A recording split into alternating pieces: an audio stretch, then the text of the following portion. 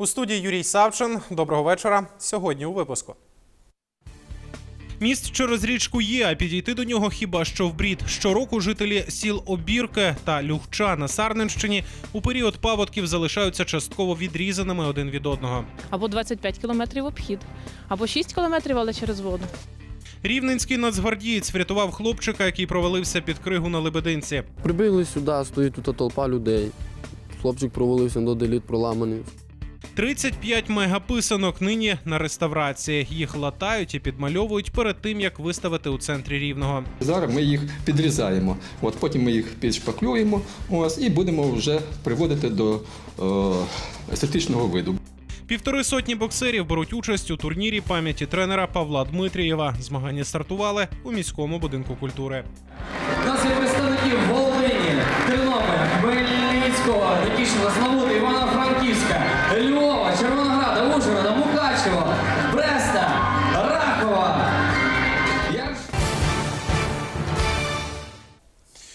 Міст через річку є, а підійти до нього хіба що в брід. Щороку жителі сіл Обірки та Люхча на Сарненщині у період паводків залишаються частково відрізаними один від одного. А ще стає складніше діставатись на роботу у райцентр. Замість кількох кілометрів навпрошки жителі часто змушені іти, або якщо пощастить їхати, в об'їзд 25 кілометрів. Іван Марчук із подробицями. Кожного дня туди і назад. Це жительки села Обірки. Сьогодні вони вже можуть дістатись з сусідньої люхчі, одягнувши гумові чоботи. Тиждень тому води тут було по пояс. Навесні традиційно розливається случ. Підхід до мосту з обох боків затоплює. Дістатись адміністративного центру громади є й інший шлях, але замість кількох кілометрів треба долати чверть сотні. То мені так. Треба виходити на поворот, там сідати на маршрутку або на автобус, їхати в Сарни. В Сарнах мені треба пересідати теж на автобус або на маршрутку, щоб мені перебратися сюди в Люхчу. Мені навіть в неділю до рідних як добратися, то теж немає як. Були такі роки, що навіть до середини літа треба було ходити, не можна було, стільки води було. Я е, вже матір двох дітей, і мене просто вже фізично не вистачає часу на те, щоб тратити його на дорогу до роботи. Я вчитель, і мені треба якось дістатися. Я змушена кожен день долати цю відстань. Або 25 кілометрів обхід, або 6 кілометрів, але через воду. Цікаво, люди тут відзначають і Великдень. Зазвичай на Пасху сполучення між двома селами немає. Тож священика, який відправить службу у Люхчі, після цього в об'їзд везуть в обірки, і вже там, біля місцевої школи, він кропить кошики людей. Новий міст через Случ звели 5 років тому. Відтоді люди щораз на сході села просили владу зробити бодай щось, аби сезонних проблем із підходом до переправи не було. На перших би порах е, треба було б зробити там, де збирається велика кількість води, хоча б місток, щоб людям можна було не бродити, а хоча б перейти. У сільській раді пояснюють, робити дорогу на пасовищі не мають права, бо територія вже за селом. Але проблема, каже ВО голови Сергій Клочко, навіть не в цьому. У бюджеті просто не було вільних грошей, які могли б витратити на вирішення проблеми. Я думаю, якщо вже не було такого розголосу, то я думаю, можливо, вона і вирішиться. Знову буду звертатися тоді до своїх підприємців. Ну, підприємці так і кажуть, ну, Сергій Іванович, хоча б треба заправити ту техніку, щоб набрати того піску чи ще там що, хоча б заправити. Заправити аналогічно тої солярки, того немає. Ну, будемо старатися, звичайно, я ж не кажу, що покинемо так і все.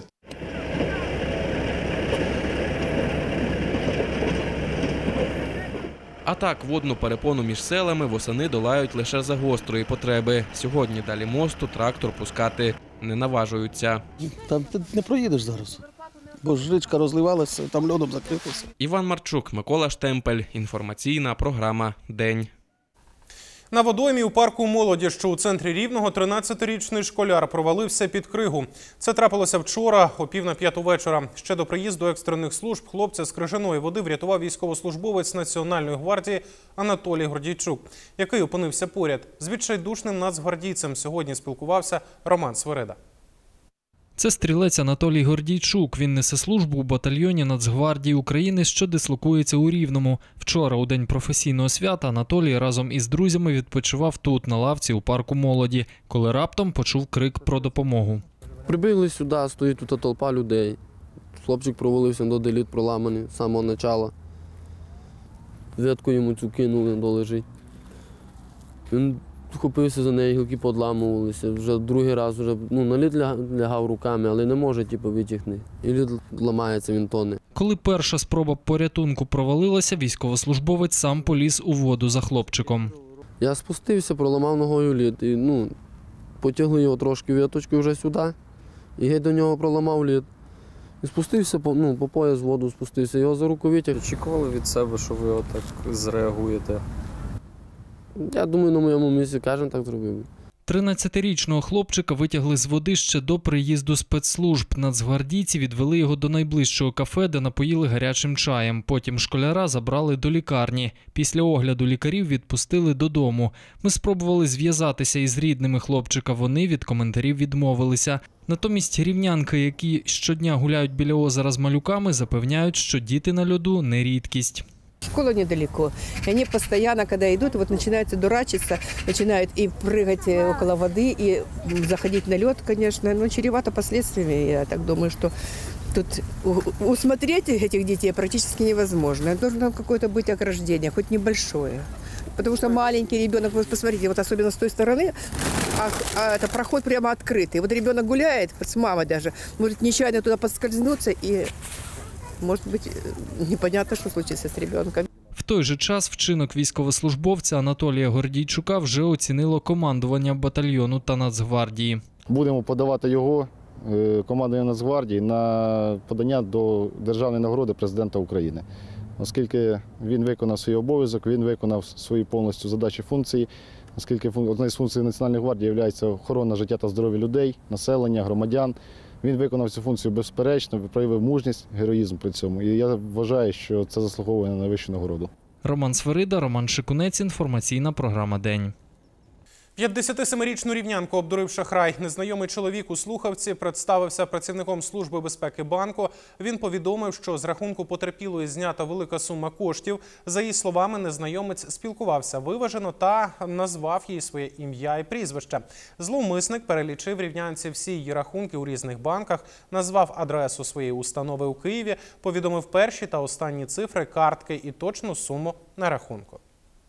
Після цього у рівнянки не було жодних сумнівів, що це працівник банку, тож продиктувала решту потрібних даних. Через кілька хвилин на телефон рівнянки прийшло повідомлення про зняття майже 10 тисяч гривень кредитних коштів з її рахунку.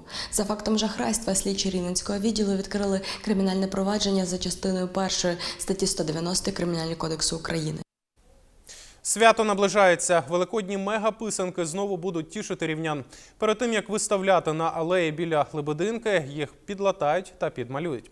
Цю ретельну роботу виконують викладачі художньої школи. За процесом реставрації писанкового саду спостерігала Валентина Гордич. Великих писанок усього 35, і кожну з них перед тим, як виставити на алеї біля Лебединки, треба відреставрувати. Над цим у вільний від уроків час трудяться викладачі художньої школи.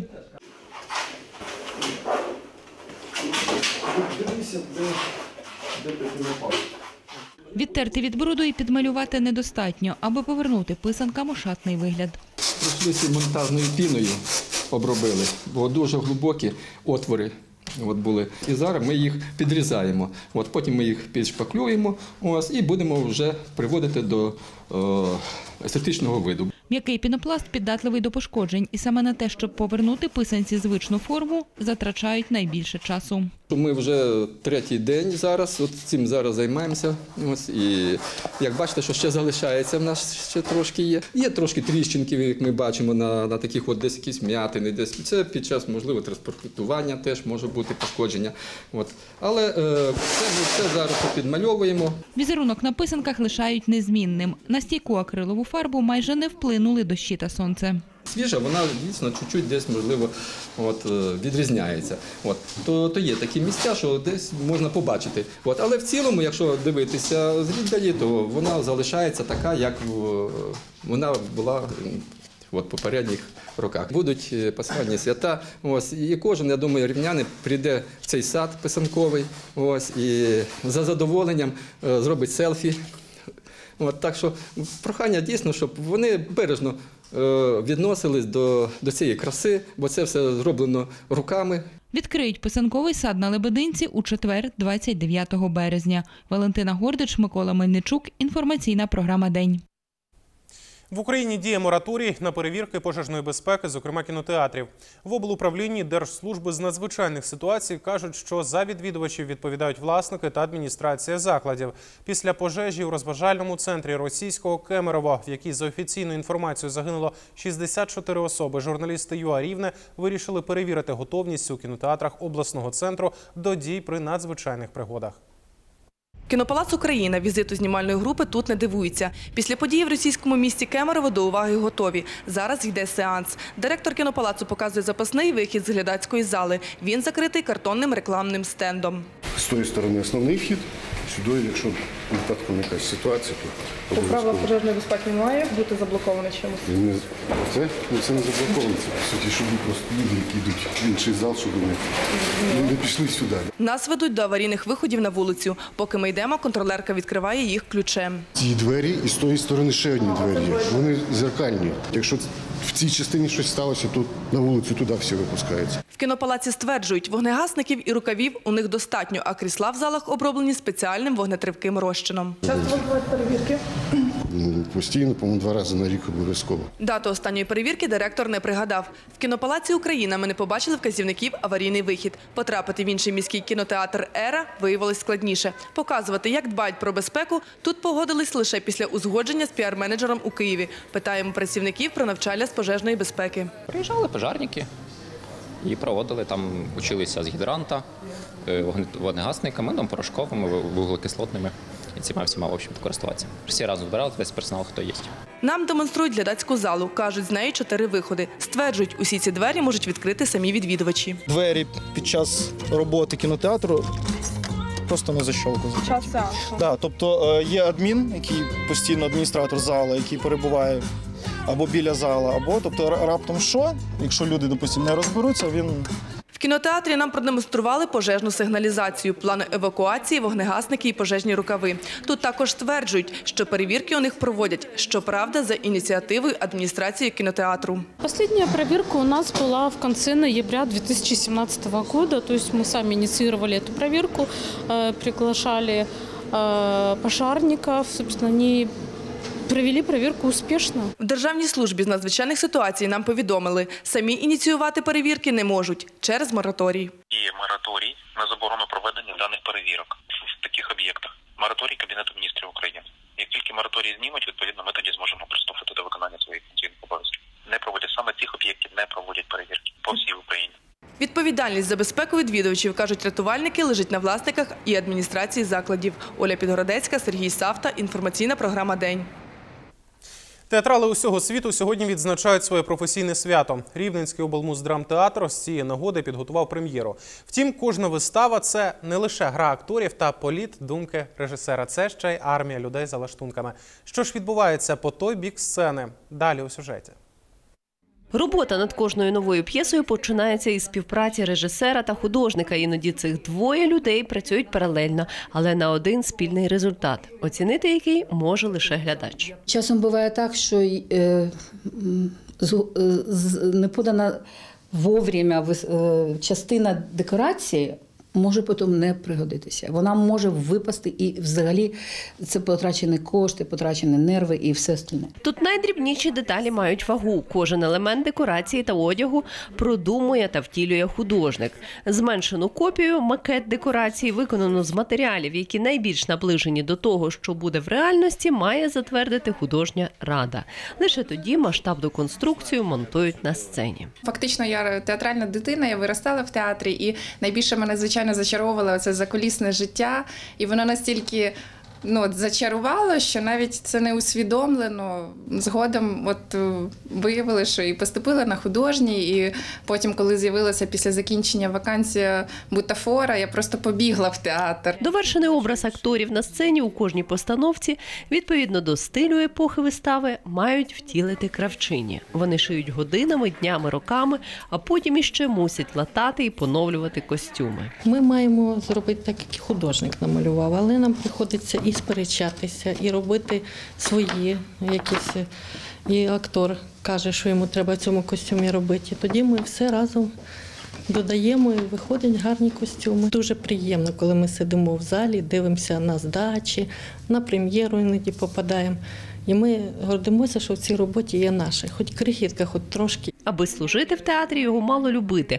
Ним треба дихати, ним треба жити, ним треба горіти. Театр це світ довершено величний. Є в нього і минуле, і майбуття.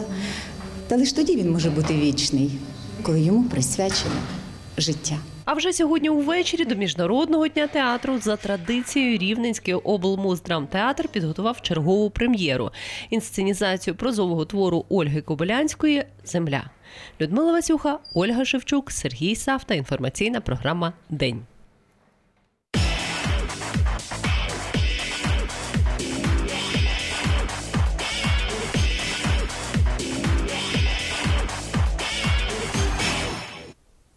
Турнір з боксу пам'яті тренера Павла Дмитрієва вчетверте стартував у Рівному. Цьогоріч змагання проходять на сцені міського будинку культури. Триватиме турнір три дні. У ньому беруть участь півтори сотні боксерів з Західної України. Змагання проводять серед юнаків, юніорів, чоловіків та дівчат. На відкритті змагань побував Володимир Струс.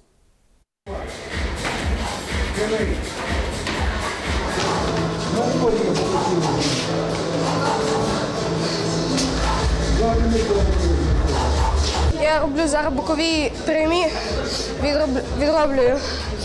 І, і ще також е, стараюсь робити нижчі уклони. Це коли б'ють мені боковий, то я роблю такі уклони, зразу можу зробити слідчий боковим, а також прямим.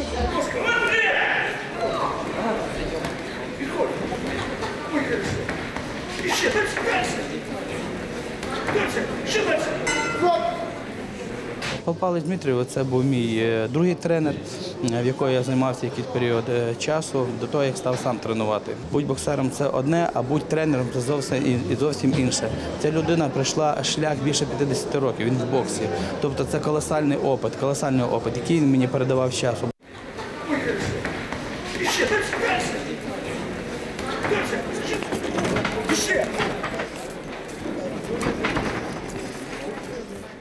Единогласным решением судей победу одержал боксер синего угла Шереметов Вадим, город Луцк. Я ходжу кожен день, крім суботи і неділі. Стараюся відрабатувати кожен день дуже сильно в парах. Ну, За що ще можна сказати? Ну, я виграв, тому що хотів, але я хотів не принизити суперника. Не радів якось е, мордобоя. Просто щоб. Ми підібрали таке місце, щоб можна було прийти людям, подивитися, е, недалеко їхати, все це компактно в місті. Кожний давав стільки, скільки е, йому можна було по своїй кишені. Але є такі е, люди, які працюють на високих постах, то вони вклали хороші гроші. Я можу тільки одне сказати, що цей турнір обійдеться ну, приблизно 40 тисяч. Приблизно. Це спонсорських, не рахуючи з бюджету. Так, е, да, да.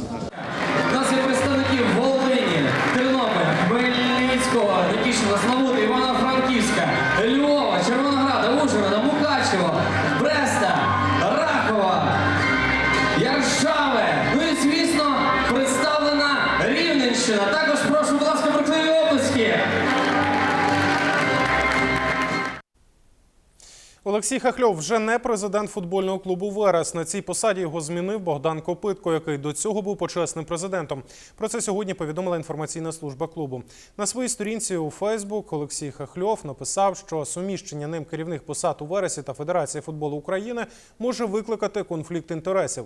Як відомо, Олексій Хахльов є заступником голови комітету стратегічного розвитку Федерації футболу України та головою Рівненської обласної федерації футболу. А от на посаді президента громадської спілки Верес Олексій Хахльов працюватиме і надалі.